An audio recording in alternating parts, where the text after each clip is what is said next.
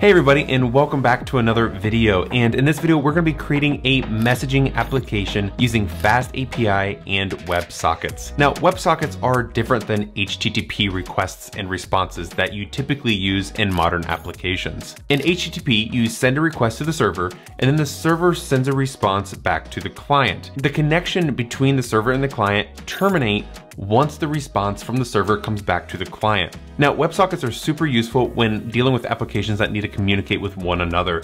Think of how texting, SMS, Messenger, WhatsApp, how they all connect and be able to send real-time data between two or more users. Now that's exactly what we're gonna be building in this project. We are going to be building a FastAPI application where two different applications can communicate together real time using WebSockets. So if this is exciting to you, let's dive into the project and build a Python FastAPI WebSocket real-time data application. All right, so let's go over what we already have in this application. So I already did a pip install for FastAPI and Uvicorn, where we can see that we're using some of the dependencies from FastAPI. We created our FastAPI app. We have an HTML string, which is just going to be our doc type of our HTML page, where we have Bootstrap 5, we have some divs and a form to submit the WebSocket request. And then we have some scripts that is also for the WebSockets where we are going to be able to read the messages. At the bottom, we have an app.get where we are just going to return the HTML response of the variable HTML, which is the string that's holding all of the HTML code. So now if we go ahead and we just say uvicorn main colon app dash dash reload, and we open up our web browser, we can see that we get this pretty FastAPI WebSocket chat. But if we went ahead and typed anything inside, it's not going to work. And we're going to get an error saying that we don't see any libraries for WebSockets. And to install this pip install WebSockets. So what we can do here is just say pip install WebSockets. This will install what we need for our WebSockets. We can then come to the top where we say from FastAPI import FastAPI. We now want to add the dependency of WebSocket, which is from FastAPI, not from the library we just installed. The library that we just installed will be able to consume the WebSocket as an item within our application. So what we can do here is now create a endpoint for our WebSocket. So we can say app.websocket and then make the path parameter of just WS async def WebSocket endpoint where we're going to pass in an object of WebSocket.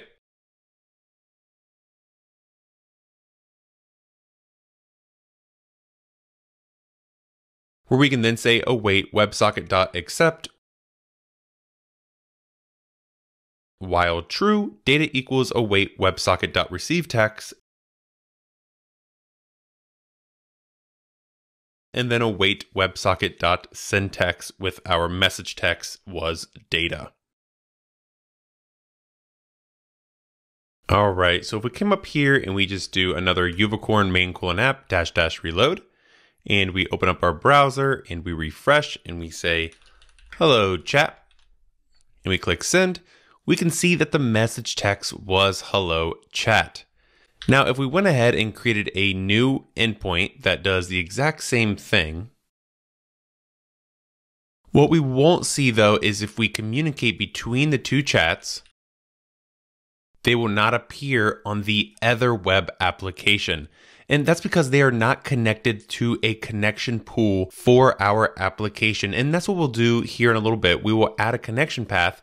So it's going to be like normal messaging. So if I say hello and I click send, it's not going to just show up on my screen, it's also going to show up on the other user screen as well. So let's go back into the code and we're going to need to create a connection manager and our connection manager is going to handle all of our WebSockets and our list of connections.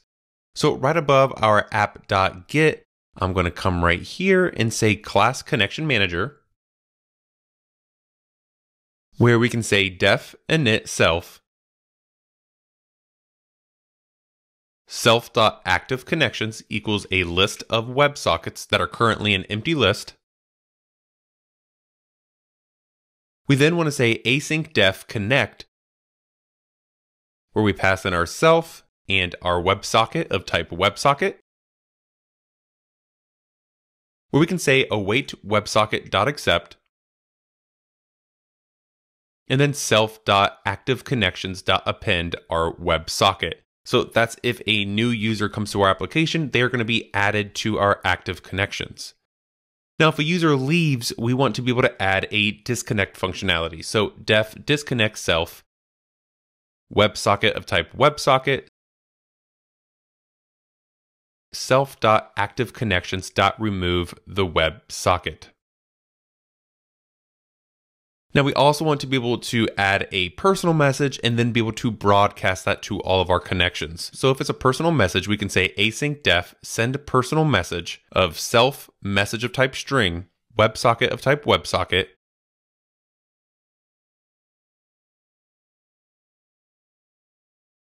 where we can then say await WebSocket.sendText of the message itself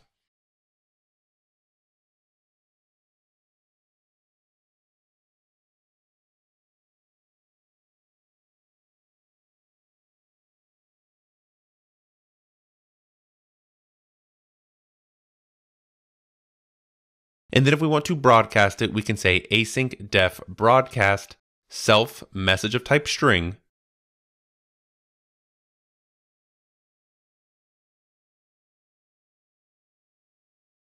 And then for connection in self.active connection. So for all of the connections, we want to then await connection.sendText of the message.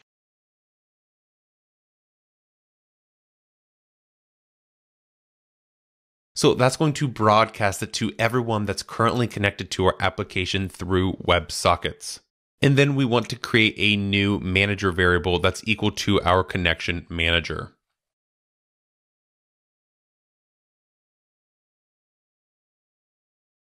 All right, and now once we add all of this, let's go down to our app.websocket slash WS, where we now need to add some more code.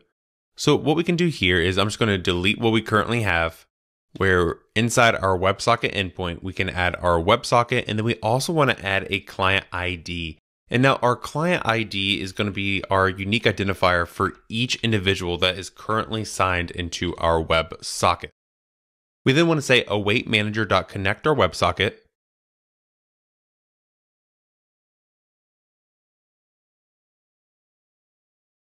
Try and then while true, data equals await WebSocket.receive text.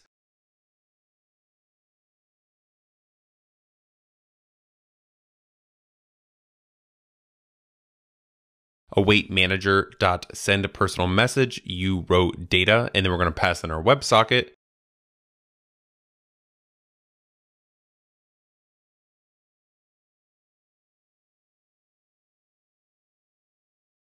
and then await manager.broadcast where we can say the client ID says whatever. So inside our broadcast message, it's going to have the unique identifier for that user with all of the messages currently attached.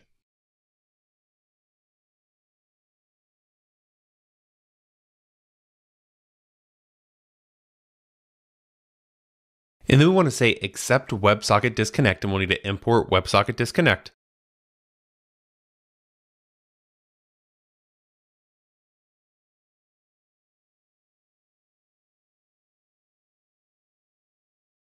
manager.disconnect our WebSocket,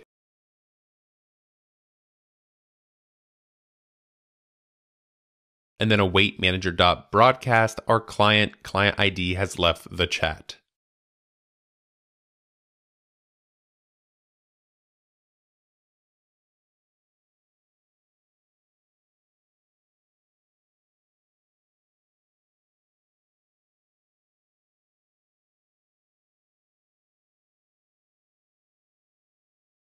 All right, perfect. And now let's scroll up to our HTML code just a little bit. We need to add a little bit more to this just to make sure that everything is going to work correctly.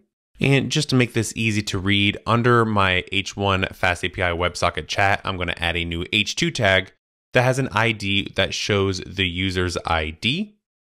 And then I'm just going to add a new script. And this script is just going to have a little bit more information that also includes our new client ID that we're passing into our chat. So when we come down to our WebSocket, since we're adding a new client ID here, down in our WebSocket, we need to go ahead and just say slash client ID.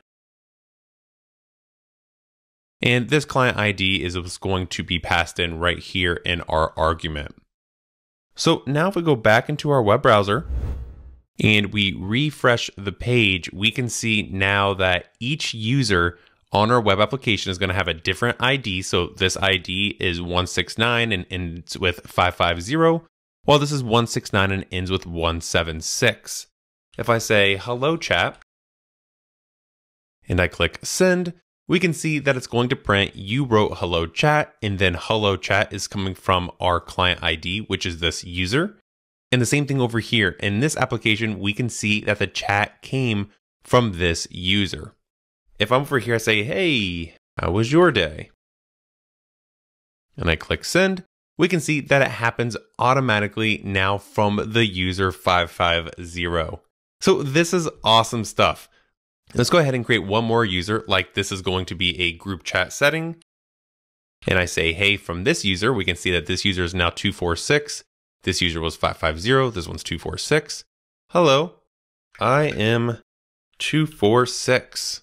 And I click send. We can see that the new user is now involved as well. So we kind of have like a group chat going on through WebSockets using FastAPI.